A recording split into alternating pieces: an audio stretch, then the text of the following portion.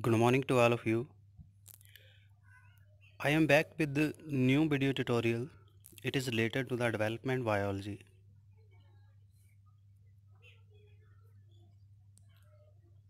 It is a very common and important topic uh, according to the examination point of view in the post-graduation classes and PhD research classes. The vulva formation in C. elegans. First of all, I will uh, try to discuss about what is the vulva. Vulva is the external genitalia. It is the reproductive part and help in the egg laying. It is complicated pathway and signaling pathway. It is a development process that is part of the organogenesis that is vulva is, is type of a organ. So organ you very well know it is specific structure that have composition of similar type of cell and perform specific function.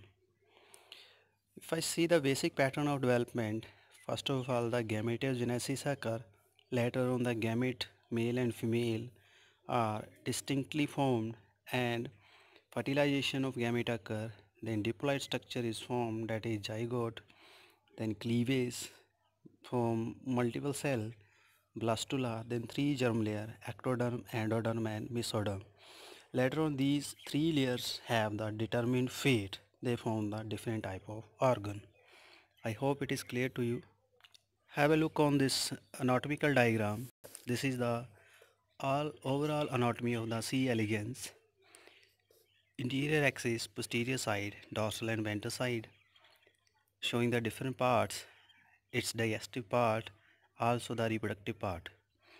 Reproductive part, we have U-shaped gonad and it is hermaphrodite. Very well clear. Hermaphrodite that is male and female occur in same organism. Here is the vulva. It is structure of the egg laying.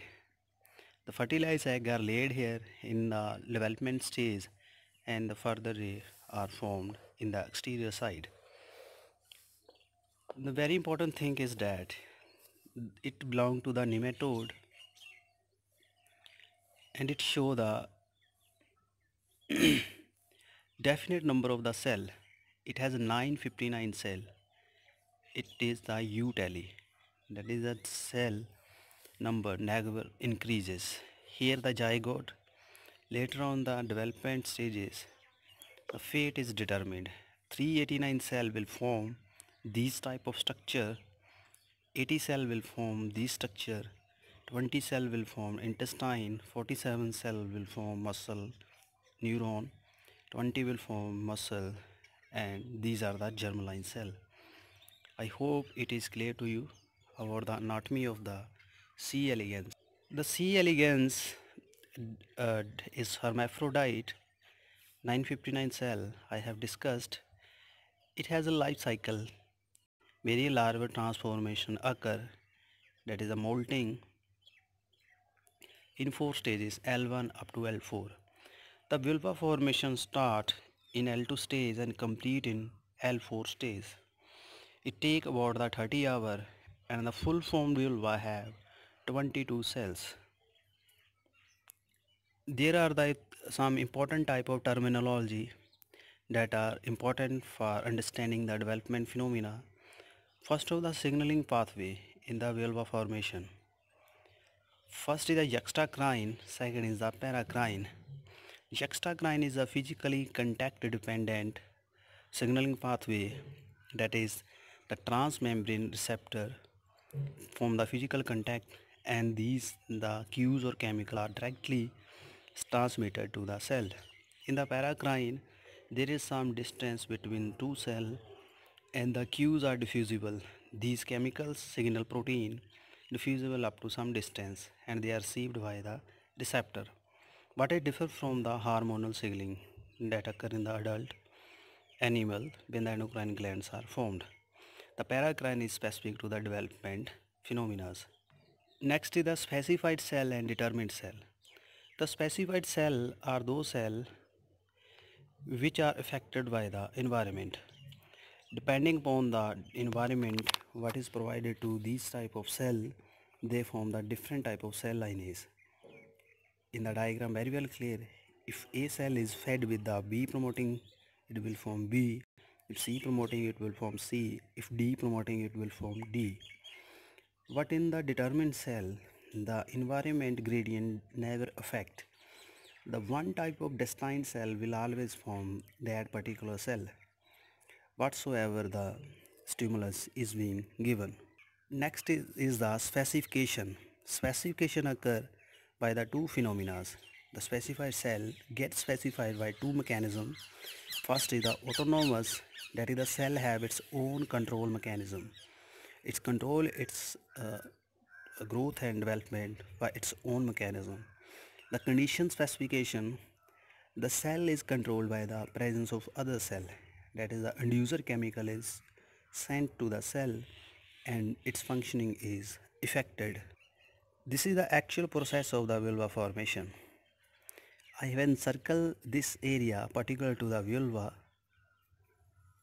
Here the green labeled cell is the anchor cell. Single cell that is very main progenitor cell that regulate the growth of the vulva. And in the lower there are the P2P, uh, P3P, P4P, P5P, P6P, P7P, P8P all these are the vulva precursor cell or the VC cells. The anchor cell control these cells.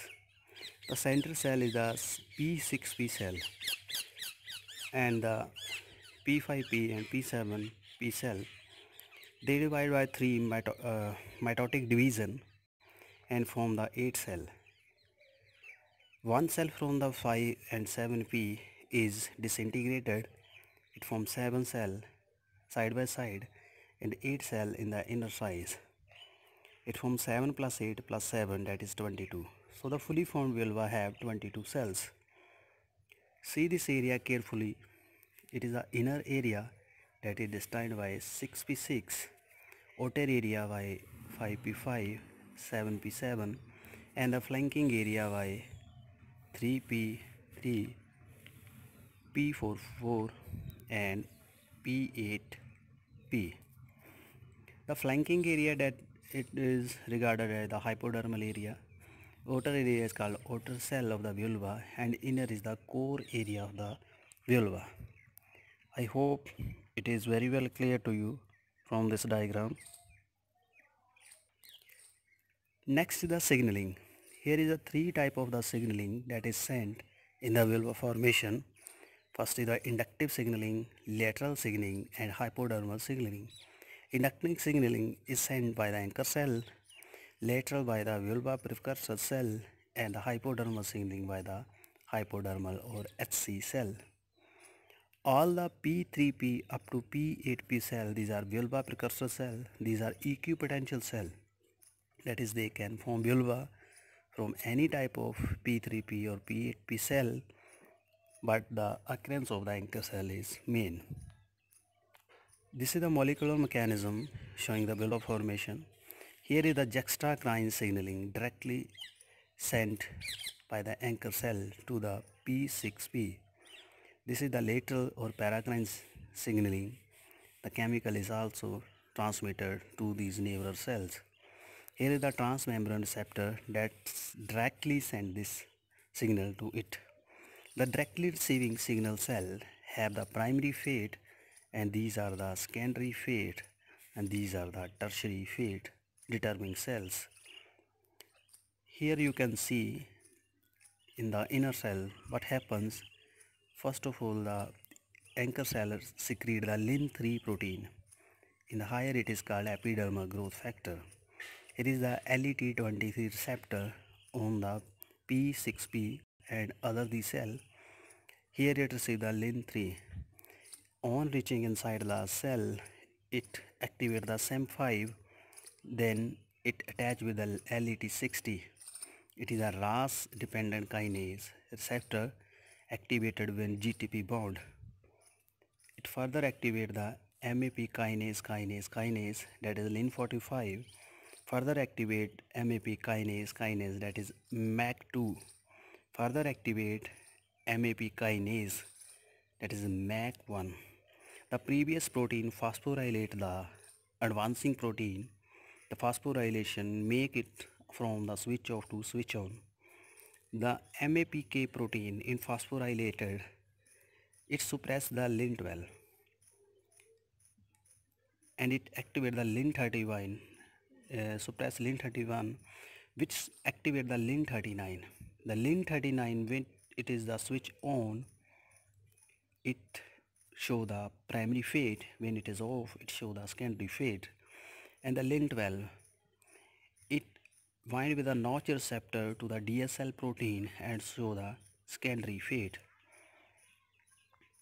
I hope it is clear to you the whole process on the protein level for the vulvar formation in the last you can see the anchor cell showing its effect. The Lin12 uh, on the last formula Lin39 that form the primary fate and the Lin12 action is up to activating the DSL winding with the uh, secondary fate determining cell. The DSL protein have the greater affinity to bind with the LAT receptor in the secondary cell but is never bind with the D cell. So these form the secondary cell. So it will later on form 7 cell it will form 8 cell it will form 7 cell and total will be 22 cells. I hope I am unable to uh, show you the vulvar formation I may have skipped many levels many later searches but uh, what I have got the actual data I have discussed with you. If you like this video, subscribe my channel and share this video among the science student. Thank you very much and have a wonderful day.